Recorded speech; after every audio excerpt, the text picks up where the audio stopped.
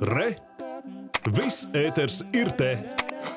Ūdens līmenis Aiviekstē iepriekšējās diennakts laikā nedaudz krities, taču situācija joprojām ir saspringta. Daugavā netālu no pļaviņām izveidojušies vismaz divi ledus sablīvējumi. Pašvaldība un atbildīgie dienesti nemitīgi seko līdz situācijai upēs un arī gatavi sākt iedzīvotāju evakuāciju, ja tāda vajadzība radīsies. Pļaviņās atrodas arī Latvijas televīzijas filmēšanas grupa Ģirds Virbuls un Ivans Milovs. Sveiks, Ģirta! Šajā vakarā jau pieteikumā aprakstīju par to, kāda situācija bija bijusi iepriekšējās diennakts laikā, bet kāda situācija Daugavā un Aiviekstē ir pašlaik? Sveiki, Ilza, vakar skatītāji. Jā, tavs apraksts joprojām ir aktuāls. Mēs šobrīd atrodamies pļaviņās pašā Daugavas krastā.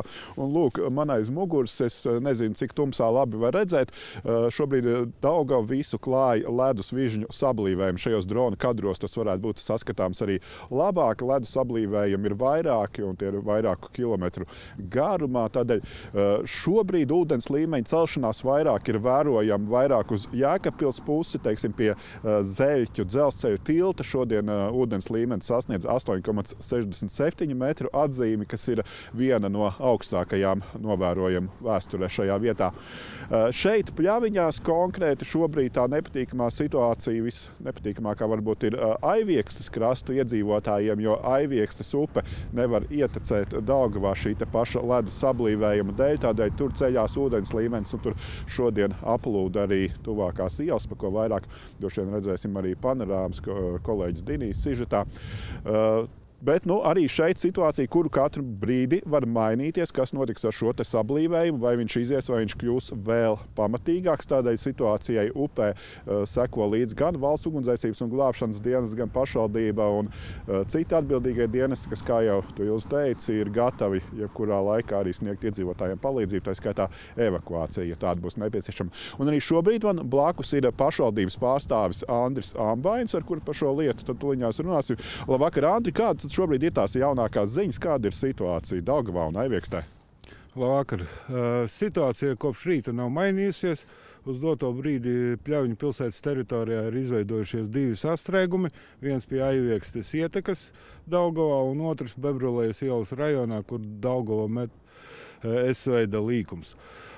Bažas rada, uz doto brīdi ūdens līmenis ir normas robežās, bet bažas rada tas, ka, ja izkustēsies sastrēgums, pie aizviekstes grīvas, ko ietekmē augstais ūdens līmenis Ekapils rajonā un visa šī ledus masa virzīsies uz Bebrulējas ielas rajona pusi, tad eh, es, mēs ceram, ka arī tā lielā ūdens masa izkustinās otru sastrēgumu un, un, un viss būs labi. Bet ja, gadījumā, ja šī visa masa apstājās Bebrulējas ielas rajonā, nu, tad eh, Pļaņu pilsētai nenovēršami ir paredzami plūdi.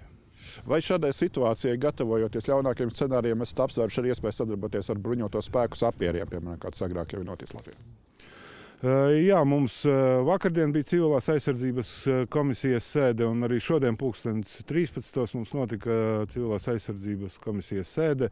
Eh, kurā piedalās gan bruņoto spēku zemesardzes vienības, gan policija, gan VUGD, gan eh, sadales tīkli un NMPD darbinieki. Un mēs apspriežam situācijas un rīcības, dažādus scenārijus, kā varētu un eh, kā saskaņojam darbības savā starpā. Bet, jebkurā gadījumā, gribu uzsvērt, ka iedzīvotājiem palīdzība tiks sniegta no visu iesaistīto dienestu puses. Vai iedzīvotājiem arī kā īpaši ir jāgatavojas, teiksim, lai pasargātu sevi un savu īpašumu šajās apstākļos? Uh, Pļaviņu iedzīvotāji jau būtībā gadu no gada sastopas ar situāciju, kad ir lielāks vai mazāks plūdu apdraudējums, un, un, un, un viņi pa lielam jau visi plūdu zonā ir gatavi šām situācijām. Pašvaldība arī savus īpašumus ir sanesusi no pirmiem stāviem uz, uz otro. Un, jāsaka, ka Informācija ir pieejama masasaziņas līdzekļos, Facebook kontos, bet papildus tam arī pašvaldības policija pat dotajā brīdī papīra formātā izvadā paziņojumu par rīcību, kur zvanīt, ka pie kā vērsties eh, plūdu gadījumā. Jā, arī mēs pirmie šeit satikām vairākus vietējos pļaviņu iedzīvotājus, un viņi patiešām šo situāciju nešķita īpaši nobežījušies. Saka, plūdi ir piedzīvoti arī iepriekšējos gadus, tā, bet, nu, jebkurā gadījumā cilvēks staigā uzmet aci arī, kas notiek upē, un arī mēs un atbildīgā dienas turpināsim sekot un vēstīsim arī panorāmas ziņu izlaidumā, kāda šeit ir situācija. Tagad atgriežamies studijā.